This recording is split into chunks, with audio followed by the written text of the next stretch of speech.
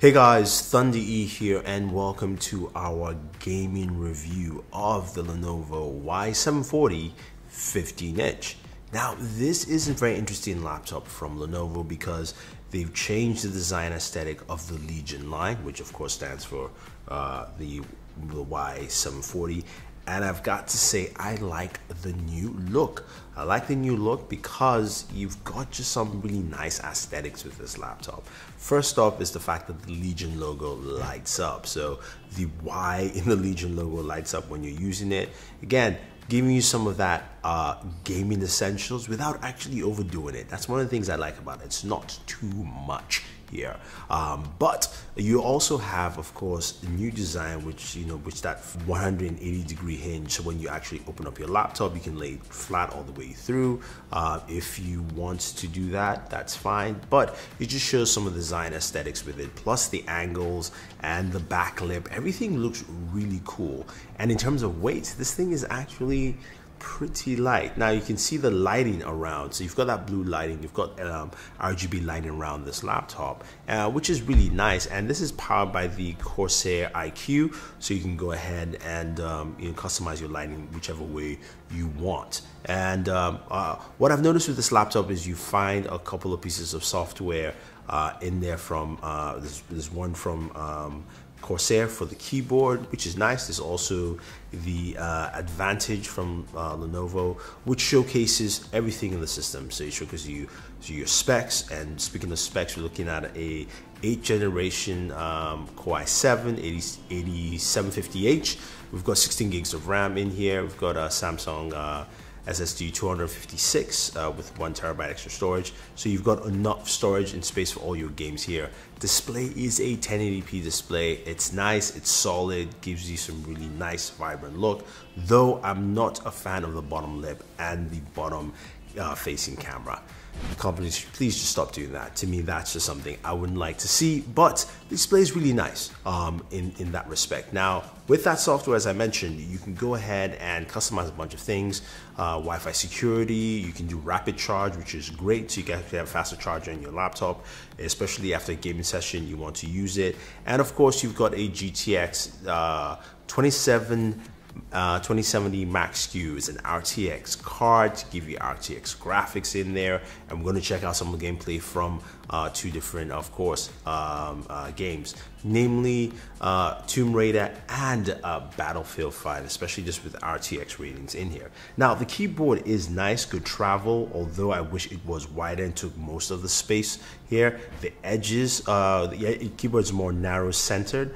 The trackpad is good and responsive though, but for gaming, of course, you're going to be using your own uh, mouse. Now, when it comes to ports, right, on your left hand, I'm sorry, on your right hand side, you do have a USB port, and then the left, a USB Type C, as well as a headphone jack.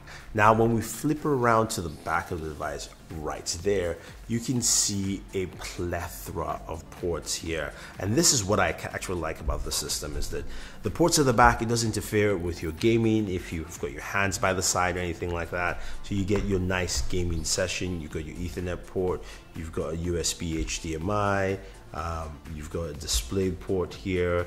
Um, you've also got um, your power plug, the standard Lenovo power plug. Again, I'm making for some very easy connectivity, all plugged in the back, as it should be with the computer. I do like the side ports with the uh, USB 3.0 and of course Thunderbolt on the other side um, on this. So that's what you have with this system. It's priced at like 15 uh, 49. Uh, so basically, this is uh, uh so 15.99. So this is a about a $600 laptop here. Um, but what do you get with that graphics setting? So when we take a look at games like uh, um, Tomb Raider, uh, Shadow of the Tomb Raider. Lovely looking game. Of course, it's RTX capable here. Uh, when you're running the game, um, just standard mode, uh, full specs, ultra and everything. Um, 1080p, of course, is the display resolution. You you can you can you can hit you know 70 to 80 frames per second uh, on this thing and it runs butter smooth really nice really solid. Uh, and I like that. I like that with it. Now when we move over to RTX graphics with this it drops down to about 63 frames per second sometimes drops a little bit lower than 60 but again still ran really smooth. Now you can see some of the details with the RTX graphics. Maybe not as much as I would like to see but enough to say okay you know this is not bad. This is cool. Now, moving over to Battlefield 5, Battlefield 5 in terms of just um, uh, standard graphics on the uh, on the system here. You're looking at about 73 74 frames per second everything in ultra maxed out. Um, you know gameplay is frantic. I died a lot. I haven't played Battlefield in a while so um, this was this was a little bit off-putting just dying quite constantly. But you can clearly see it looks good, uh, especially from the captures from the system. It looks really sharp, really vibrant. Looks good there. Uh, again, 73 frames per second, which is nice. Now, when we move over to RTX graphics, it drops down to about 64 all the way. Actually, goes up to about 73. That's the range you're getting there. Again, this system does not. You can only you will do all that, of course, plugged in. Uh, battery power, basically, it you know there's a CPU limiter, so it basically downclocks the system uh, so that you don't actually push it that much.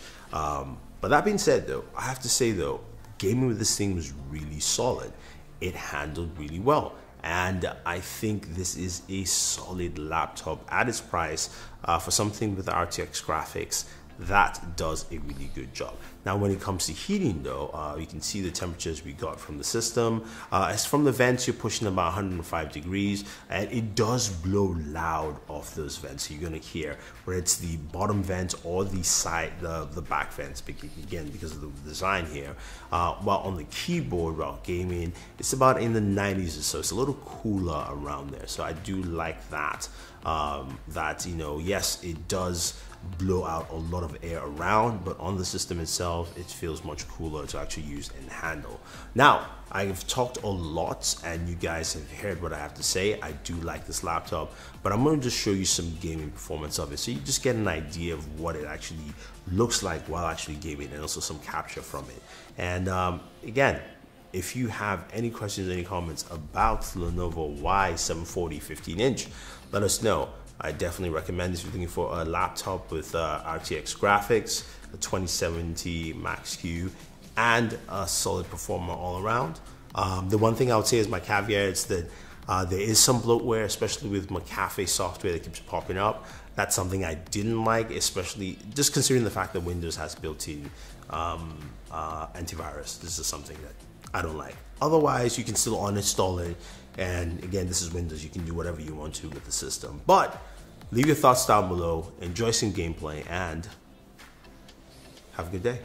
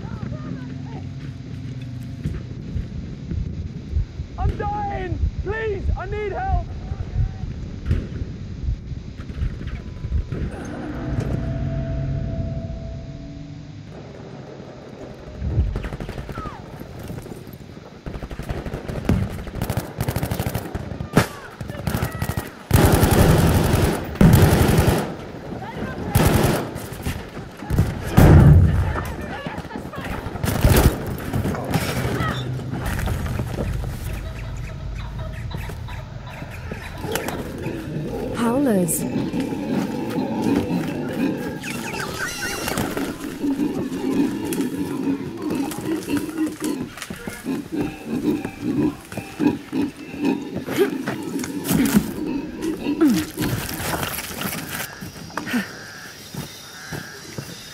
A fire. Someone must be around. Hello?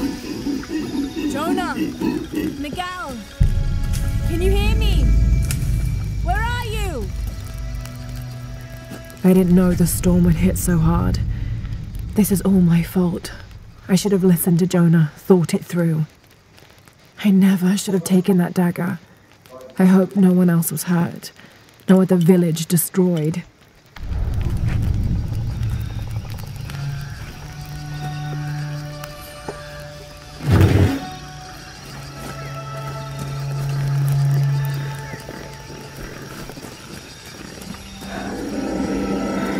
Part of the plane landed here.